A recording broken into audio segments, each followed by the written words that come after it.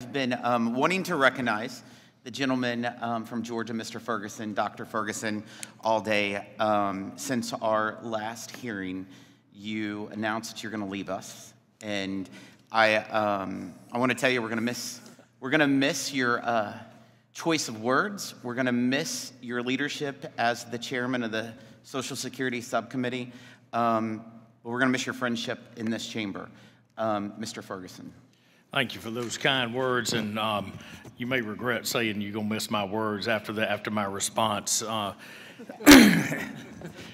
in all seriousness, I, I, I listened, Mr. Mr. Chairman, to my colleague from Wisconsin feign on about life and protecting folks that are below the poverty level and, and, and worried about the damage that can come. And yet, I've watched my colleagues on the other side of the aisle completely ignore a humani- humanitarian crisis crisis of epic proportion at our southern border. When we talk about the number of lives that are being lost or argued about here, whether it's the unborn or the mother's life, we are missing the big picture here that literally tens of thousands of our fellow Americans are dying because of fentanyl overdoses, driven primarily by the cartels moving fentanyl across a wide open southern border. When we talk about preserving dollars for our most needy, we have almost 12 million people that have come across this border, or will be by the end of this year. 12 million. Think about that for just a minute. That's almost more than the state of Ohio, maybe more than the, the state of Ohio. And we are not even talking about on this committee, which has jurisdiction over so many social safety net programs, how in the world you're going to pay for that. Because these folks are not just going to come here and completely assimilate overnight into America. That takes years to do. There's going to be pressure on our school systems, pressure on our healthcare systems, pressure across the board. And you talk about diluting resources.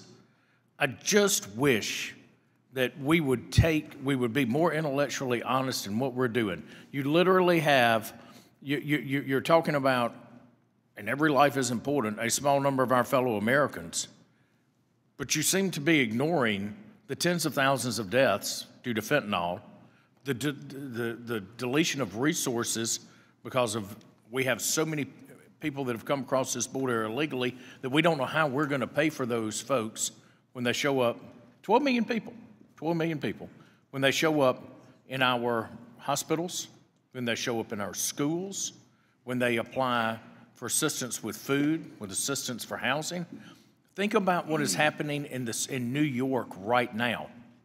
We are kicking ch- school children out of the classroom to house people that are here illegally. If I'm a parent in New York, I'm going to lose my mind over that. We have big city mayors across the country that are screaming for more federal resources money that we don't have that we're going to have to borrow. And yet, we aren't protecting the very people that are already in this country that are American citizens. So I just, I get a little bit tired of all of, of, of, this, of this outrage on this particular issue when we are missing the big picture about fentanyl overdoses and about the cost of illegal immigration and how it is going to continue to bankrupt this country because the funds simply are not here. We should be fixing Social Security. We should be fixing Medicare. We should be putting having pro-growth policies here. At the end of the day, we're fighting, we're fighting over a nit on a gnat, and it's about doing the right thing for this country. Mr. Chairman, I hope I didn't disappoint you with my use, the use of my words, and I, again, I appreciate your kind comments, and I yield back the balance of my time.